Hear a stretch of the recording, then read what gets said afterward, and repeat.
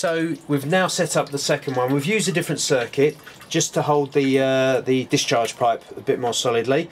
Um, we've still got the immediate swept swept elbow above the tundish, so we're going to switch on there just to show you the different characteristics when you have an elbow in close proximity to the tundish.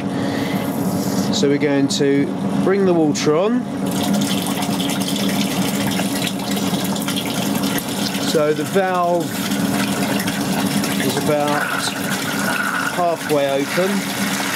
So now we're going to accelerate up to there.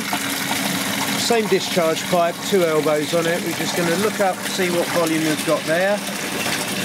So we're coming through again about 15 litres a minute. And there is a little bit of incidental splashing, and you can see that, that's caused because of the close proximity of the elbow. So installation wise, the characteristics of the tundish does change depending on what you've got in the circuit.